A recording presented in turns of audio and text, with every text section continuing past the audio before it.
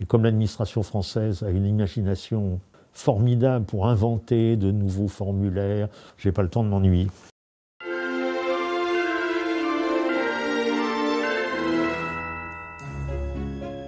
Je suis palésien depuis 20 euh, ans. J'ai travaillé euh, pendant 12 ans tout en, étant, tout en habitant Palaiseau, donc sans profiter comme je l'aurais pu de la ville. Et puis j'ai pris ma retraite.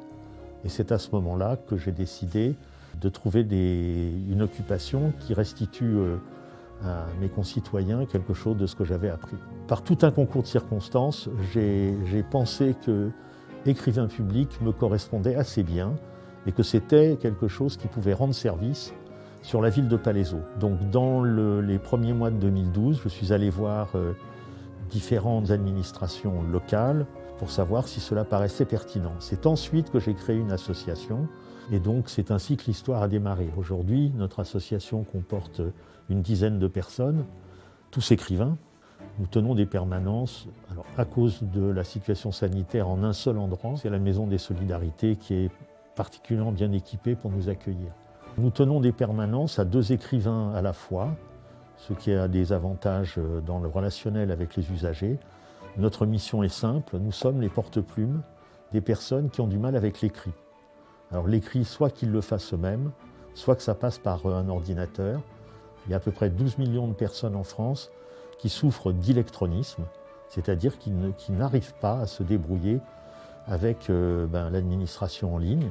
Donc nous, on est là pour le faire avec eux.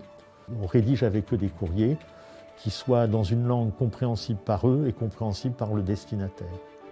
C'est l'essentiel de notre travail. Donc ça, c'est devenu euh, mon activité principale. Je suis aussi euh, engagé auprès d'Aurore Séropian, euh, la Ligue contre le cancer à Palaiseau. Et puis mon épouse et moi, nous sommes ambassadeurs du Rire Médecin, une association qui envoie des clowns dans les hôpitaux, dans les services pédiatriques. Ce sont que des clowns professionnels et je n'ai pas été qualifié comme clown. Et je suis à la fois bénévole et trésorier d'une association dans, le champ du handicap de rééducation par les sports équestres. Voilà, donc ça, fait un peu le tour de, mes activités. Cette médaille, ça a été vraiment une surprise. Je reçois un coup de téléphone de Grégoire de l'Astérie.